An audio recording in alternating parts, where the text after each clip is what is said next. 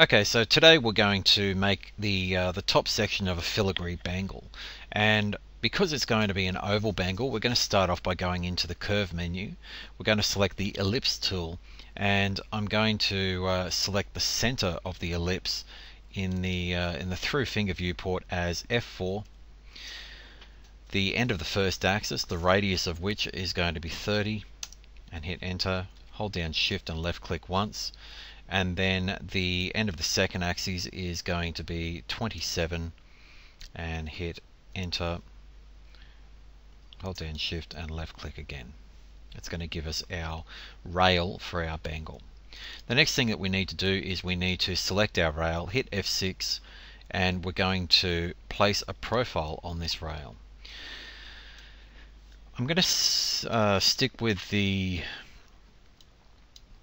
the default I'm going to increase the width out to 10 mil wide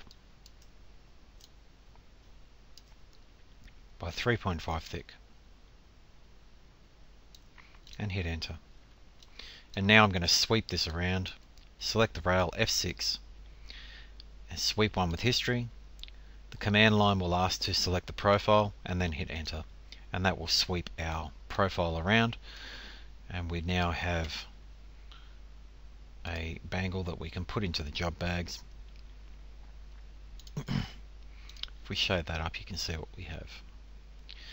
Alright, the next thing that we're going to do is I'm going to, uh, because we're only focusing on the top part of the bangle, I'm going to come across to the command line, uh, sorry, the curve line, uh, menu here and select my curve just from F4. I'll change that to a different layer color for the moment hold down shift and left click there. And then for the opposite side I'm uh, I'm going to select maybe an arc direction. And from there to there hold down shift and create something like that. So these are just curves. And what I'm going to do with these curves is I am now going to turn them into surfaces by going to the surface menu and selecting surface extrude all. I'm going to click on the straight option there and take that out to about say there.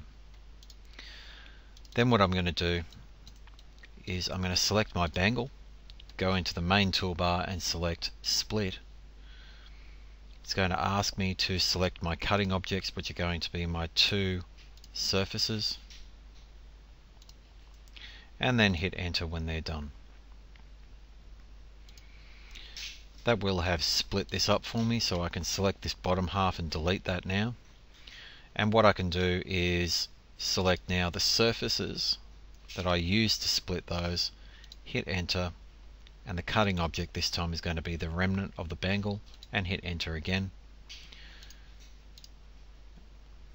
And now I can select that surface and delete that one and delete that one there.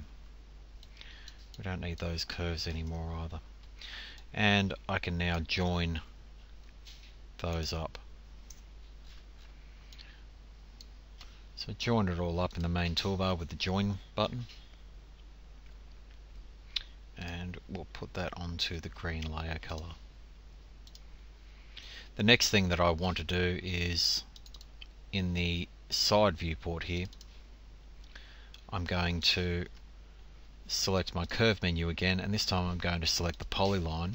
I'm going to turn my grid snap on for this particular part of the exercise and I'm going to come across from the top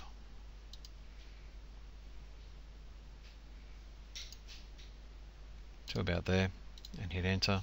I'm going to mirror this around F4 Hold down shift to engage ortho and select both of those curves and join that up. And now I'm going to select that particular curve. Just take it out so it's a little bit closer to where I want it to go. And I'm going to go to surface extrude all. Hit the straight option. Take it out to about say there. And now we're going to select our bangle, hit split, select the surface and enter. I'm going to delete what we don't need anymore. And then enter will bring back that split tool again. This time the object we want to split is our original surface. Enter. And the cutting object will be our bangle. Enter. Now we can get rid of this and we want to make sure that we join all of that up so that it's one closed poly surface. So we select it all and hit join. And then we'll put that onto the green layer again. Okay, so the next thing I'm going to do is I'm going to extract a few isocurves and to do that I'm going to go into the uh, curve menu again and select extract isocurve. The first thing I'm going to do is I'm going to select the surface for isocurve extraction, which is going to be this surface, and I'm just going to toggle that uh, so that I've got, um, I'm going to use this isocurve here, and obviously you would have your measurements that you would prefer to use, uh, but for the demonstration purpose I'm just going to, uh, I'm just going to do it by eye, and then I'm going to toggle that again, and this time I'm going to snap to the midpoint there and then hit enter.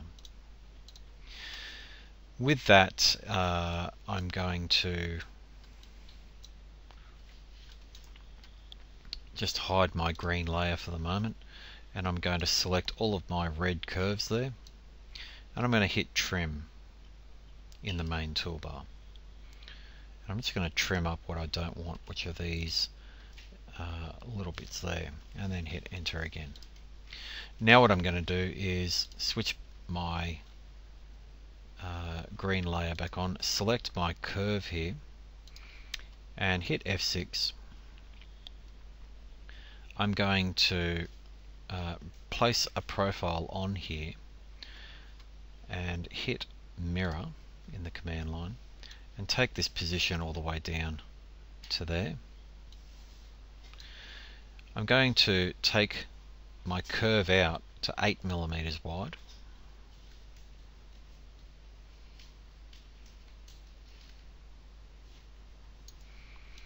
And the depth I'm going to take to 3.5 mil. And I'm going to uh, offset the piece by about th uh, three, sorry, uh, 2.5 mil. Once I'm happy with that, I'm going to hit enter. Then I'm going to select my curve. I'm going to hit F6 and go to sweep one with history and select my two new profiles here. And hit enter. And I'm going to select my surface and go to solid and cap planar. And that will make that one closed polysurface. The next thing I'm going to do is going to go into my tools menu and go into the boolean builder. I'm going to select boolean intersection for this and I'm going to select my surface, my red surface there and then I'm going to select my green surface there and I'm going to hit boolean and that's going to give me the intersecting piece between those particular surfaces which I have here. I'm going to put that onto the purple layer and I'm going to put that into a job bag. Once I've got that there I'm going to hit undo boolean and that's going to undo that whole process. And now I'm going to change from boolean intersection to boolean difference and select my bangle and then select my red cutter or my red surface that will now act as a cutter and put that into the cutter window and I'm going to boolean that away. That will leave me with this void here and when we click on this job bag that will bring back that purple section which will fit perfectly into that void. The next thing that we're going to do is we're going to use a tool that's called SmartFlow and in order to use SmartFlow we're going to uh, first of all create a base surface. So to do that we go to the transform menu and the second level of the transform menu we find our SmartFlow auto base. We're going to select that and click on the surface that we want to uh, create a, an auto base from. And that's not exactly right, so let me delete that. Let me first of all explode this purple surface and hit enter. And now let me hit SmartFlow Auto Base and select that top surface there and that's better. That's what. And that basically has rolled that surface out flat. Now because this was part of a bangle, it's actually rolled the entire bangle out flat. So we really only need to concentrate on apart from about say here to here. With this I'm going to change it to a, uh, a different layer color. And now we can bring out our pattern. Now I brought a, uh, a, pattern into Matrix before by importing a bitmap and I traced around that particular bitmap and put it into a job bag which is in job bag number 6 there and that's the pattern that I, am going to use for this bangle. So with that said the first thing I'm going to do is select my, uh, my bangle by region selecting it as well as the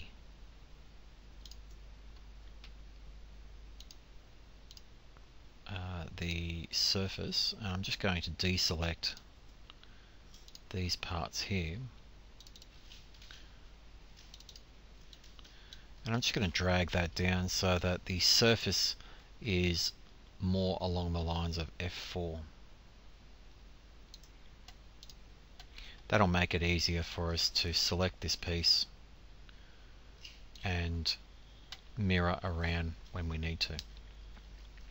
So first of all let me group that together. I'm just going to select utilities and hit group. And now that will be one piece. So we can just select one piece now and everything will select.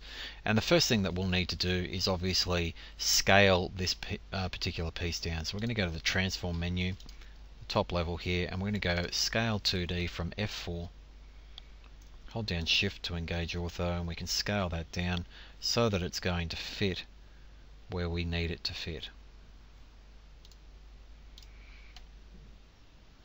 So that's a little bit more accurate.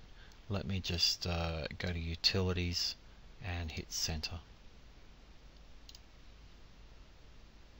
There we go. Okay so now what we can do is we can simply enact the, uh, the SmartFlow function by clicking on the transform menu and clicking on SmartFlow. And anything that we happen to put onto this green surface will now transfer across to the purple surface once we've selected the base surface object which is the green surface and the destination surface which is our purple surface up the top here. And now you can see that that has now transferred across.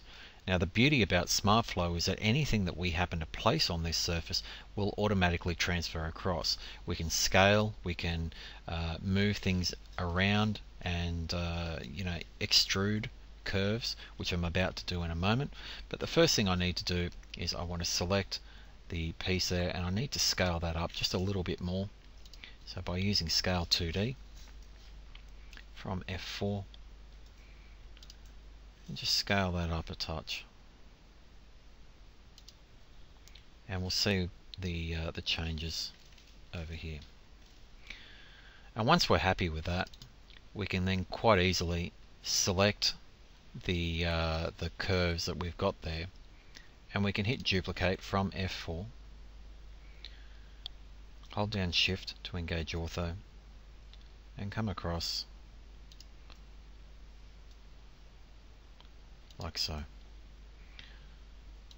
Let's see how that transfers across.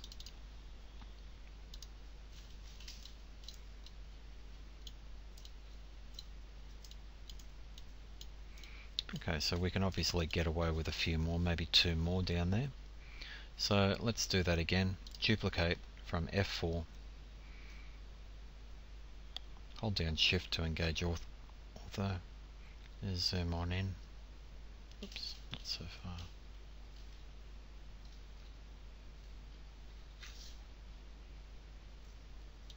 Actually, let's just fix these ones here up.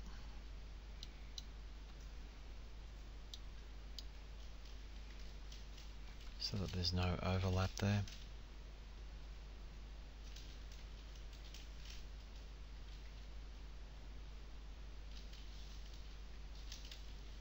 Something like that will be fine.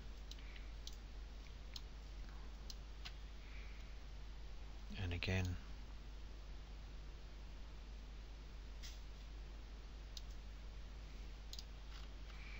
and finally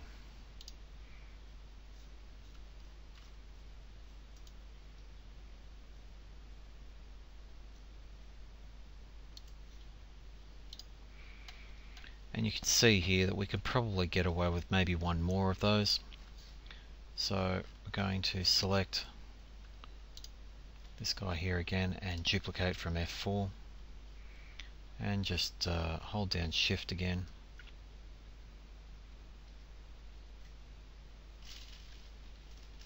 So something like that there.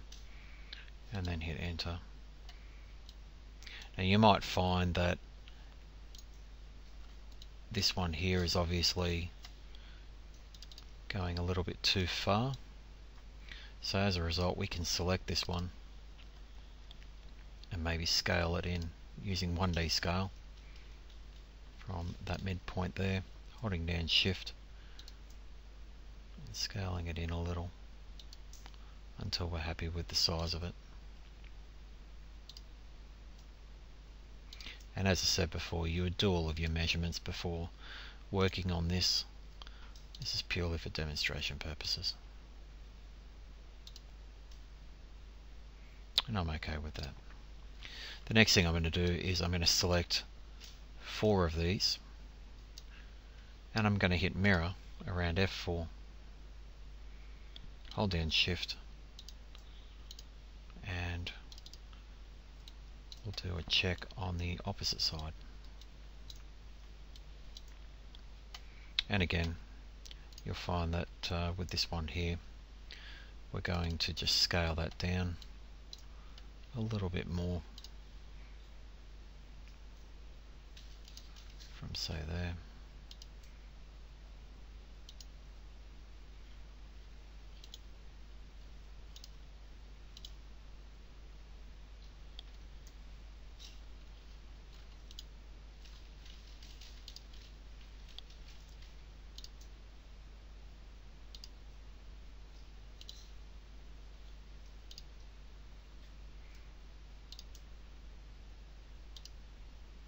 and I'm happy with that. Alright, so once we have our pattern out there, what we can do next is we can select all of our curves here and in the uh, side viewport we're going to go to the solid menu and hit extrude curve straight.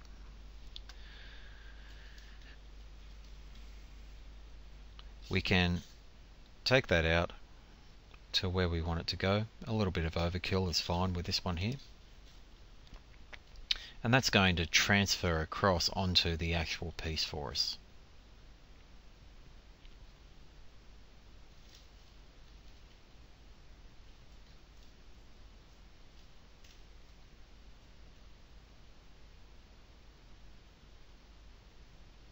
I do apologise for the time that it's taking on my computer. It's uh, an older computer the more powerful your processor, the quicker this operation will be.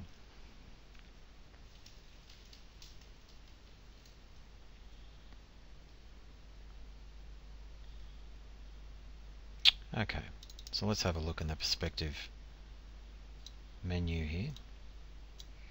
And we can see here that the uh, the extrusion has gone where we want it to go all the way through that purple section there well and truly through here.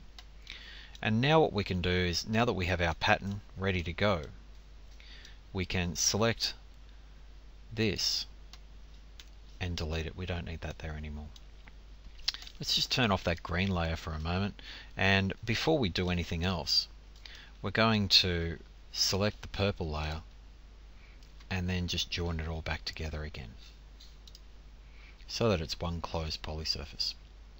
Then what we're going to do is go into the Boolean intersection tool, select our purple layer and put it into one of the windows. And then we're going to select the red layer and put that into the other window.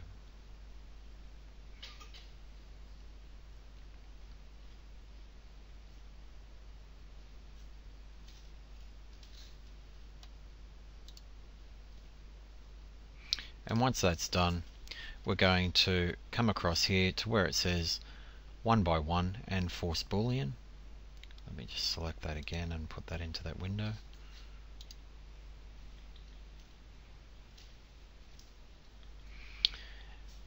And select one by one, force boolean and boolean away. And what that's going to do is it's going to give us the uh, the intersecting pieces between those two solid objects. So let me pause the video while it does that. The final result will be this. So let me just turn off that red layer and you'll end up with a filigree section that when we turn the green layer back on matches perfectly with the uh, the surface or that uh, original top profile surface there.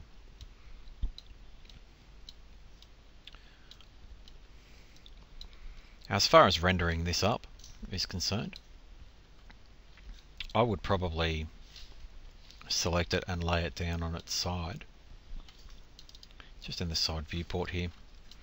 And I'm just going to rotate that around. Say from about there, hold down shift and take it down to about there. Going to just uh, rotate the the view around a little bit more. And we're going to open up our render uh, builder, or render menu, and open up the V-Ray builder. we're going to, first of all, change our HDRI map. I'm just going to go to a fast HDRI. And then I'm going to put down a ground plane by selecting Create Ground Plane. And then I'm just going to position the piece where I would like to render it. Just going to turn this off for the moment. I'm going to select a, or the ground plane there, and uh, I'm going to go to the uh, ground plane library, select white matte, and apply that to that material. Then I'm going to go to the ring material or the metals material. Select, uh, say, platinum. And maybe the purple will do as rose gold. Now you'll notice here that we have quite a few different shades of rose gold at the moment. This one here is selected, but if we wanted something a little bit rosier, then we could select that one there and hit update. That will update a preview for us. And then if we're happy with that particular shade of rose gold, then we can apply that to that material by clicking on the green button here.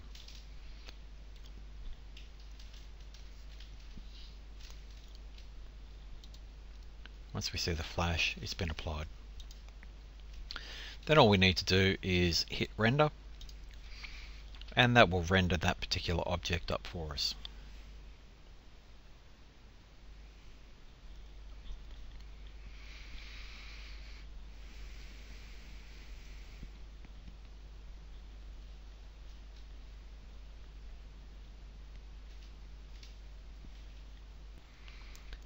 and we will end up with a render that looks like this here. So we can save that render.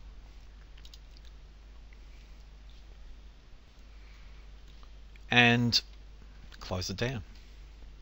Now if you wanted to find out how heavy this particular piece was going to be, let's get rid of our ground plane.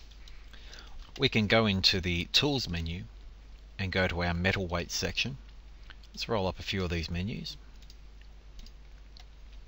and we can select say the base of the bangle or the top part of the bangle and hit calculate. That's going to tell us that in all these different color, uh, kinds of metals, it's going to be those particular weights. You're wanting to do this in silver, you're looking down here. In brass, 11 grams and so on and so on. There's quite a few different uh, metals that it will calculate for. The same thing for the purple section there. So if we were to highlight all of the uh, the purple layers and hit calculate, then that will also provide us with a calculation, an approximate metal weight of those particular items there too. Okay, if you have any other questions, then please feel free to let me know. I hope that helps.